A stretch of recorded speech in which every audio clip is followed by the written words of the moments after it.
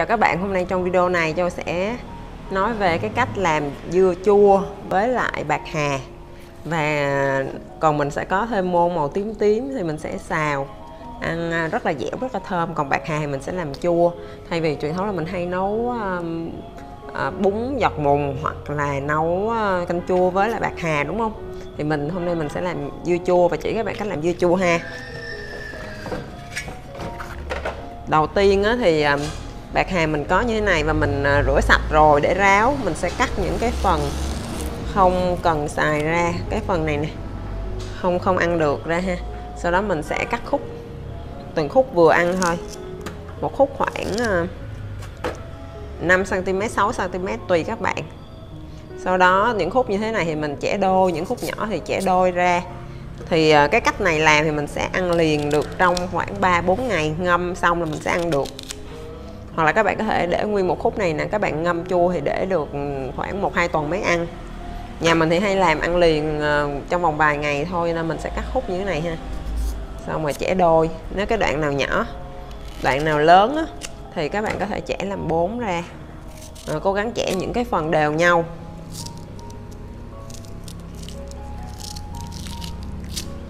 À. Cố gắng chẻ những cái phần đều nhau các bạn ha mình có thể ghép lại như thế này nè, để mình lấy những cái phần đều nhau. Sau đó mình sẽ à, ví dụ cắt đôi ra và cắt vừa ăn, ví dụ à, hai, một nửa vậy thì mình chẻ hai hoặc ba lần ra. Đó. Rồi mình đang có một cái dĩa như thế này. Dĩa như thế này ha. Thì lát nữa mình sẽ đem đi phơi.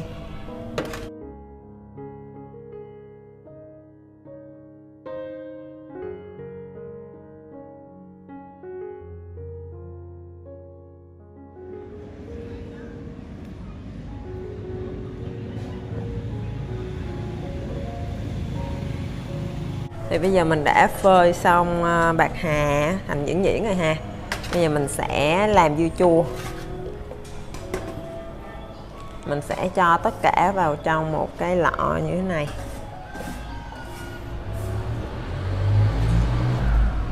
À, đó thì khi nó khô thì nó sẽ nhỏ lại các bạn ha. Nó sẽ nhuyễn lại và mình làm như thế này á thì khi mà mình ngâm dưa chua xong mình chỉ cần xả ra với hai ba nước mình có thể đem đi xào tỏi luôn. Không cần phải chẻ ra nữa. Khi mình cho vào xong thì mình sẽ dùng tay mình ấn xuống như thế này. Sau đó thì mình à, sẽ cho một cái phần gọi là nước gạo nước do gạo á. À, mình đã do gạo rồi á thì mình à, sẽ cho vô.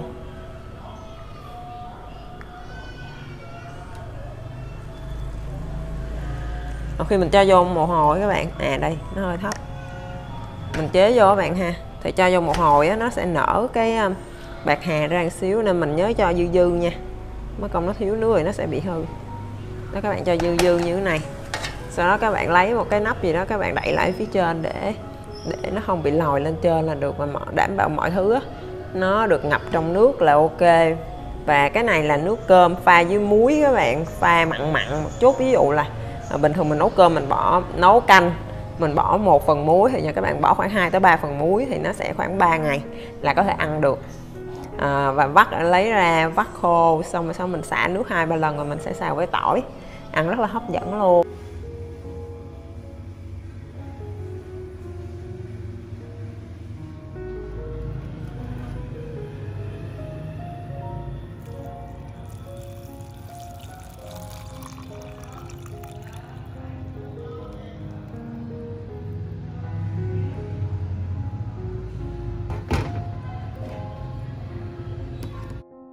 Thì châu sẽ chia sẻ các bạn cái cách nào để chúng ta à, sẽ ăn cái à, dưa bạc hà muối chua này nha. Ví dụ chúng ta sẽ lấy một cái phần mà chúng ta cần ăn làm một bữa ăn đúng không? Mình sẽ thả vào nước. Vậy các bạn ha. Để mình à, rửa sạch lại. Mình sẽ dắt khô như thế này. Mình mình thả vào nước để mình à, rửa.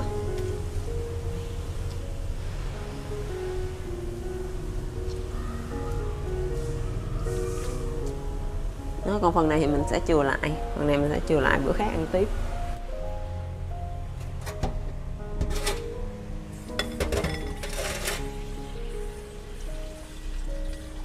Rửa tầm khoảng hai nước á, là mình sẽ ờ, dắt khô. Làm sau đó mình sẽ đem xào tỏi là được các bạn. Rất là dễ.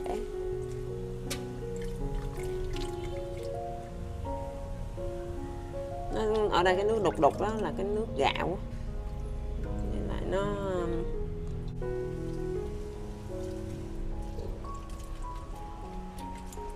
các bạn ăn um, một miếng to nhỏ như nào á thì mình khi mình cắt á, để trước khi phơi khô mình cứ làm một lượng như vậy nha. Nhà mình thì cắt sẵn nhuyễn nhuyễn luôn, để ăn á cho nó ngon luôn.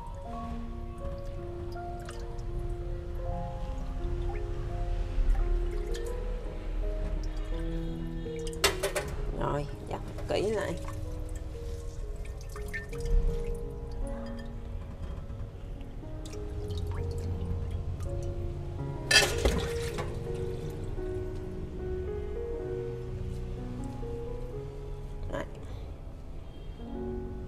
Đó bạn ha, rất là chua.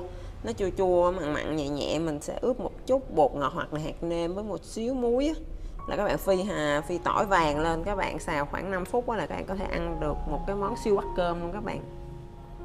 Chúc các bạn thành công nha.